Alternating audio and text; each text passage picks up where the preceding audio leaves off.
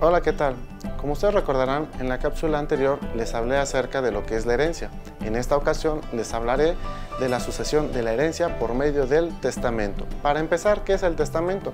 Se dice que es un acto personalísimo, libre, irrevocable, que una persona capaz realiza para eh, transferir sus bienes y cumplir con sus deberes para después de su muerte.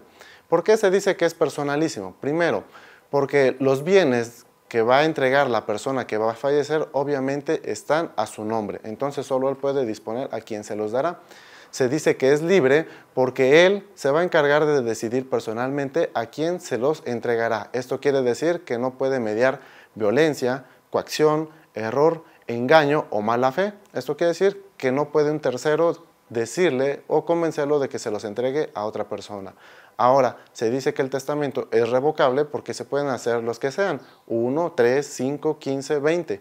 El que tendrá validez al final será el último. Y se dice que debe de ser realizado por una persona capaz porque en la mayoría de los casos las personas que hacen un testamento ya están en la tercera edad y a esta edad algunas ocasiones se tiende a perder la lucidez. Esto quiere decir que hay intervalos en los que ellos no se encuentran bien mentalmente y por eso se debe de hacer con eh, sumo cuidado. Pero no se preocupen, el testamento siempre se va a elaborar ante un notario público y el notario público tiene la obligación de ver que se satisfagan todos y cada uno de los requisitos. En este caso, que la persona tenga plena lucidez, capacidad en todas sus partes.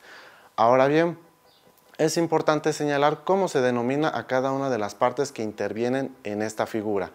En este caso, a la persona que va a dejar el testamento se le llama testador, mientras que a las personas que van a recibir el patrimonio de aquella persona se les denomina legatarios. ¿Por qué se les denomina así? Bueno, porque esta transmisión es a título particular.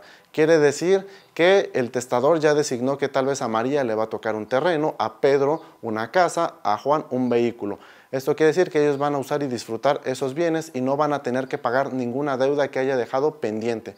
¿Por qué? Porque él ya en su testamento asignó un cierto número de bienes para que se cumplieran con las deudas es importante señalar que este juicio hereditario testamentario se realiza mediante dos vías. La primera, que es ante la autoridad judicial, que es el juez de lo familiar, o la segunda, que es ante el notario público, dependiendo de la economía de las personas podrá ser. Ahora bien, esto es muy importante que lo tengan en cuenta. Soy el licenciado Jorge de la Vega y esto ha sido todo. Nos vemos en la próxima. Gracias.